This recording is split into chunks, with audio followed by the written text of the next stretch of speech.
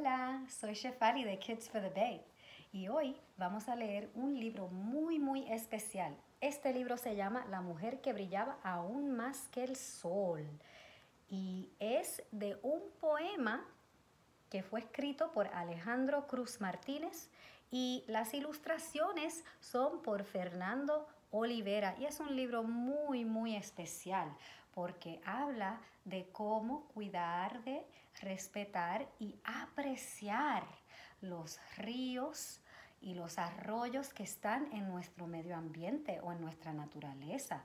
¿Y por qué es muy importante apreciar estos cuerpos de agua que están en, nuestro, en nuestra vecindad, en, nuestra, en nuestro medio ambiente? Pero primero les quiero decir que y compartir con ustedes que en Kids for the Bay nosotros llevamos a niños y niñas como ustedes a explorar su medio ambiente. Y una de las cosas más divertidas que hacemos es llevar a los niños y a las niñas en excursiones a explorar arroyos. Se llaman los Creek Field Trips. Y en estas excursiones investigamos los animalitos que viven dentro de los arroyos, escuchamos el sonido del agua que puede ser tan y tan relajante. También eh, hacemos dibujos de los árboles que están a sus, en los alrededores de los arroyos y es un día muy muy especial y una de las cosas que me encanta hacer es eh, recoger basura y hablar de la importancia de cuidar de nuestros arroyos al recoger basura, recogiendo basura y limpiando la contaminación que está alrededor del arroyo, eh, ayuda a que esa basura no entre a los arroyos porque los arroyos están conectados con la bahía de San Francisco, al igual que el Océano Pacífico. Todas estas conexiones son muy importantes de conocer porque nuestras acciones en nuestro hogar, en nuestras calles, afecta a todo lo que vive y todo lo que depende de los arroyos, de la bahía y del Océano Pacífico.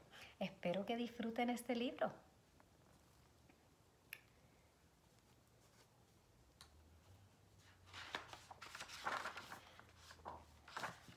La mujer que brillaba aún más que el sol.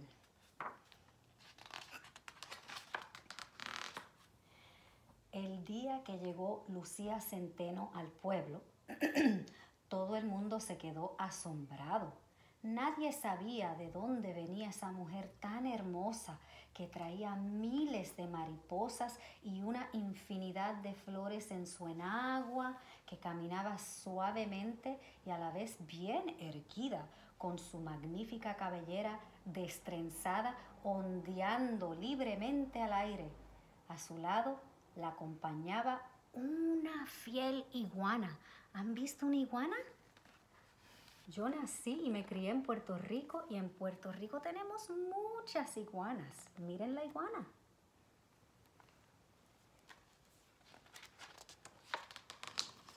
Nadie sabía quién era, pero sí sabían que no había nada que brillara tanto como Lucía Centeno. Alguna gente decía que Lucía Centeno brillaba aún más que el sol. Otros decían que su espléndida cabellera parecía atajar la luz, su cabello. Todos comenzaron a sentir algo de miedo de este ser tan maravilloso y tan desconocido. Miren el largo y bello cabello de Lucía Centeno.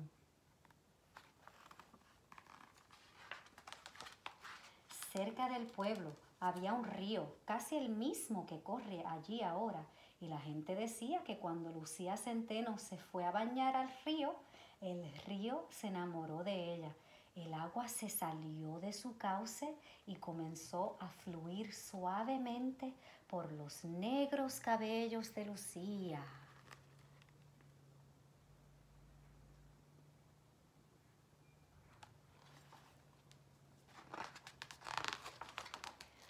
Cuando Lucía terminaba de bañarse, se sentaba al lado del río y se peinaba los cabellos con un peine de madera de mezquite.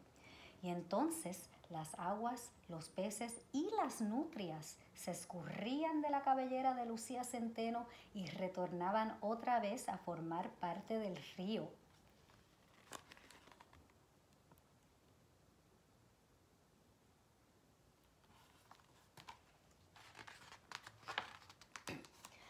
Los ancianos del pueblo decían que aunque Lucía era distinta, había que honrarla y guardarle respeto.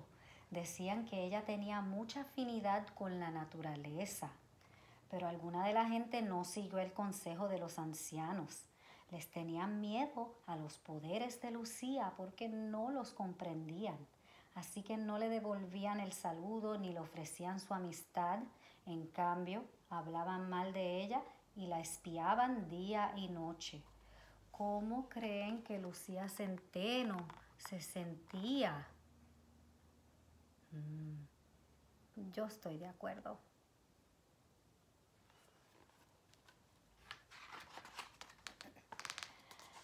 Pero Lucía no los trataba a ellos de la misma manera. En cambio, se apartaba de ellos y seguía caminando con dignidad.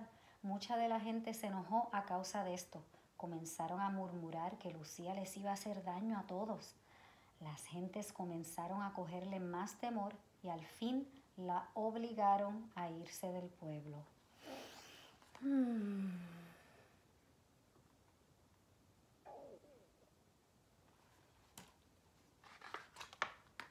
Lucía bajó al río una última vez para despedirse, como siempre. Las aguas salieron a saludarla y comenzaron a fluir entre sus largos cabellos, pero esta vez cuando Lucía trató de peinarse, el río no quiso separarse de ella. Y por eso fue que cuando Lucía Centeno se marchó del pueblo, el río y los peces y las nutrias se fueron con ella, dejando solo una culebrita de arena por donde antes había corrido el río.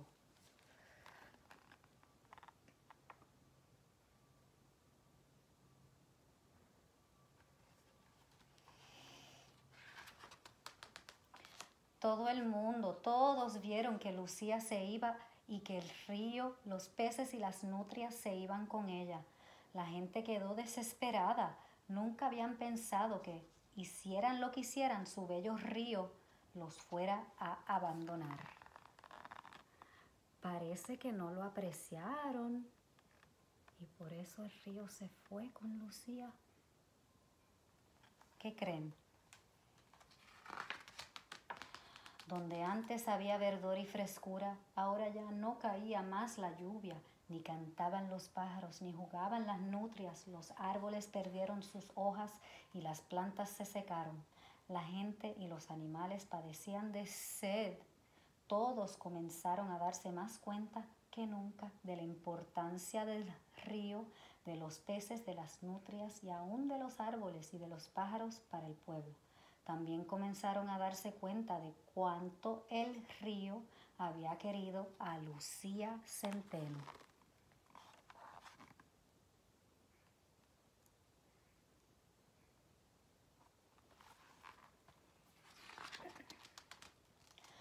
Los ancianos dijeron que todos debían ir en busca de Lucía a pedirle perdón, pero algunas de las gentes no querían, todavía temían a Lucía, más como el pueblo seguía sufriendo, al fin todos se pusieron de acuerdo.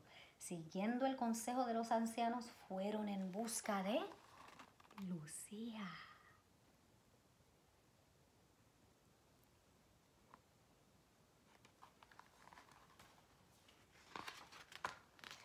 Tras mucha marcha, la gente encontró la cueva de Iguana donde Lucía se había refugiado.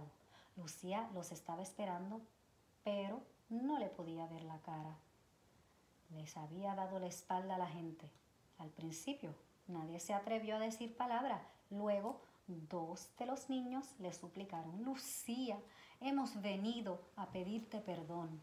Ten piedad con nosotros, te lo rogamos, y devuélvenos el río.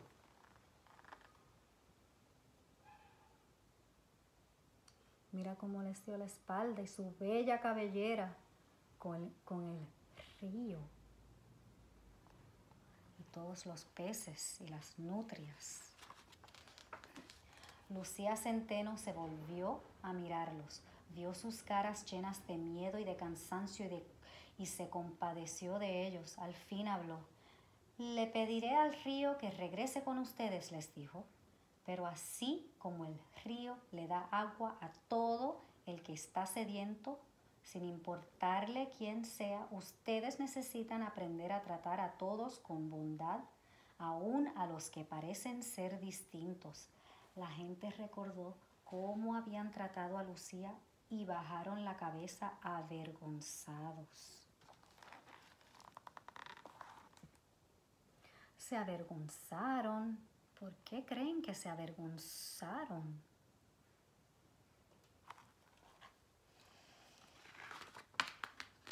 Al ver que la gente estaba verdaderamente arrepentida, Lucía regresó con ellos al pueblo y comenzó a peinarse los cabellos. Se peinó y se peinó hasta que salieron las aguas, los peces y las nutrias y siguió peinándose hasta que todo el río había vuelto otra vez a su lugar. ¡Wow!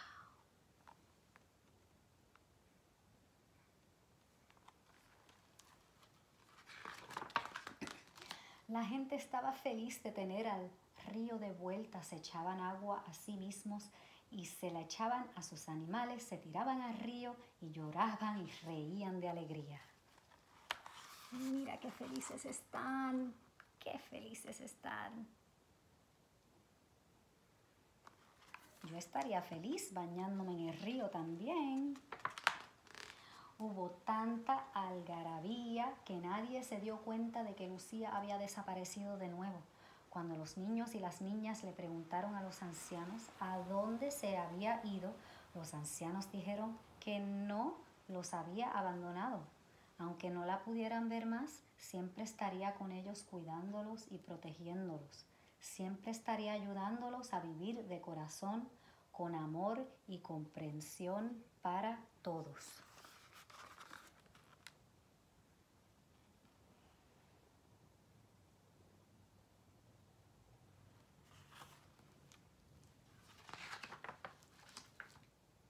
el Muchas gracias. Espero que les haya gustado el libro La mujer que brillaba aún más que el sol y nos vemos pronto.